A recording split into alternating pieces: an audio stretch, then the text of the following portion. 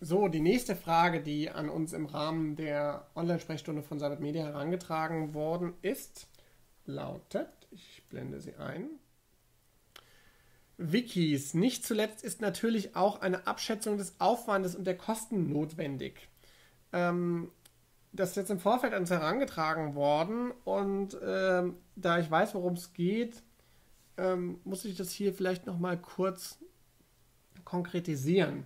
Und zwar ähm, ging es darum, äh, Sabbat Media bietet ein Orientierungsangebot für Wiki-Dienstleistungen an. Das heißt also, Sie kriegen eine sehr hohe Transparenz, so ähnlich wie eine Preisliste zu verstehen, mit unterschiedlichen Varianten. Also zum Beispiel, Sie wollen ein Layout mit Sabbat Media für ein Wiki machen, da gibt es klein, mittel, groß.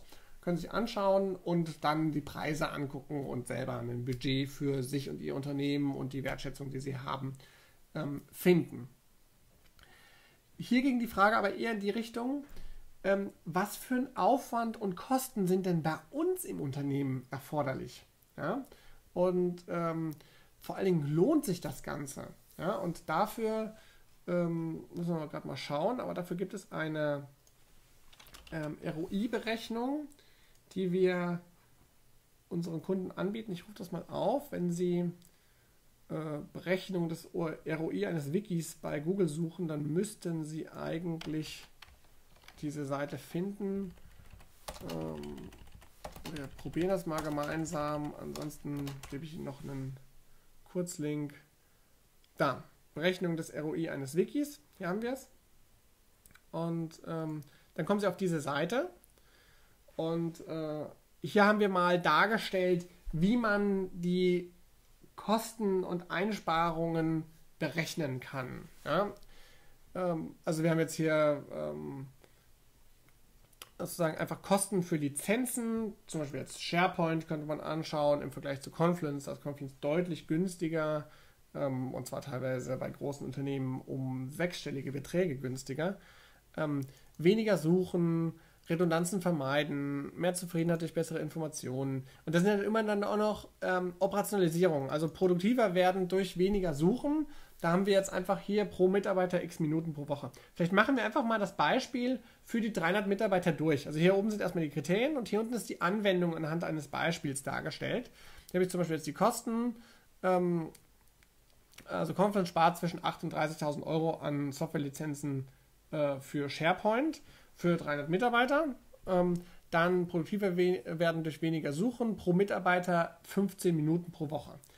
Dieser Wert ist eine reine Schätzung. Ja, also wenn Sie sagen, äh, das stimmt ja gar nicht, das sind gar keine 15 Minuten, das sind nur 5 Minuten oder das sind eigentlich 20 Minuten, dann müssen Sie was anderes reinschreiben. Und hier wurde dann einfach gesagt, okay, wir haben 300 Mitarbeiter, 15 Minuten durch 60 mal 40 äh, Stunden ähm, äh, mal 3000 Euro, das ist das Bruttogehalt, äh, mal 12 Monate, gibt dann hier 67.500 Euro, wenn jeder Mitarbeiter tatsächlich jede Woche 15 Minuten einspart für 300 Mitarbeiter. Also da ähm, kann man eine ganze Menge offensichtlich einsparen. Dann haben wir ähm, eine hier noch äh, Redundanzen vermeiden, einmal pro Woche 30 Minuten pro Mitarbeiter, ähm, also sozusagen, dass der keine doppelte Arbeit macht, auch nochmal äh, berechnet. Hier oben fällt mir übrigens auf, dass hier das durch 4 fehlt. Also die Formel ist hier nicht ganz richtig. Also, wenn wir 67 durch 4 sind es vermutlich nur 20.000 Euro. Aber auch das ist ja schon ein ganz schön hoher Betrag, der da rauskommt. Ähm, also, Sie müssen das vielleicht nochmal in der Berechnung dann validieren ähm, mehr Zufriedenheit durch bessere Informationen. Da war jetzt die Theorie, dass man in zwei Jahren einen Krankheitstag durch die höhere Zufriedenheit des Mitarbeiters einsparen kann. Ob das der Fall ist oder nicht, sei mal dahingestellt. Aber da lässt sich auch eine ganze Menge Geld einsparen. Bessere Meetings, etwas weniger Meetings, etwas kürzer, immer eine Agenda, Protokolle immer zugänglich, pro Mitarbeiter 15 Minuten pro Woche, gleicher Betrag. Auch hier wieder, glaube ich, der Rechenfehler drin etwas weniger Mails, auch wieder 15 Minuten pro Woche. Ähm, dann Dokumentation von Unternehmenswissen verhindert Verlust von Vermögenswerten bei Mitarbeiterverlust, zum Beispiel Wechsel, Ruhestand oder Tod. Hier war einfach jetzt gesagt, ein Jahresgehalt in zehn Jahren. Und wenn der jetzt 3000 Euro brutto verdient, dann wäre das 36.000 Euro durch 10 wären also 3,6 1000 Euro pro Jahr. Sicherheit verhindert Datenchaos, nicht quantifizierbar, aber auch unschätzbar wichtig. Also, dass ich jetzt irgendwie einen Laptop mit meinen Daten verliere, geht nicht, weil das, die Daten liegen ja im Wiki. Ähm, und Transparenz verhindert Korruption, auch nicht quantifizierbar.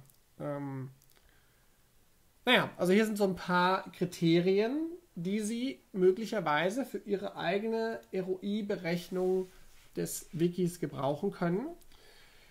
Die Frage ist jetzt noch nicht in Richtung Aufwand geklärt. Also ähm, hier unten war ja auch noch die Frage, ähm, eine Abschätzung des Aufwandes. Ähm, was kostet mich das denn an Arbeitszeit in meinem eigenen Unternehmen? Und äh, das ist sehr, sehr schwierig zu beantworten. Ja? Da haben wir keine pauschale Antwort drauf, sondern so, gibt es ein paar Parameter, die wir gemeinsam mit Ihnen diskutieren und dann Schätzungen anstellen. Aber was ich Ihnen sagen kann, ist, wenn Sie kein Team von Leuten haben, dass mindestens mal zwei sind, ja, wenn Sie nicht mindestens zwei Leute haben, die bereit sind zu schwitzen und auch Zeit haben, mindestens 20 Stunden, also richtige Nettostunden, nicht irgendwie so mit Ablenkung und so weiter, ähm, dann ist ein Firmenwiki überhaupt nicht zu etablieren. Denn ein Wiki allein ohne Inhalt ist überhaupt nichts wert. Wenn Sie nicht mindestens zwei Leute mit 20 Stunden haben, die viel Know-how haben, dann klappt das nicht. Das ist sozusagen das Allerwenigste, was ich mir vorstellen kann, was reicht, um so eine gewisse Grundauslastung an Informationen in einem Wiki äh, zu schaffen.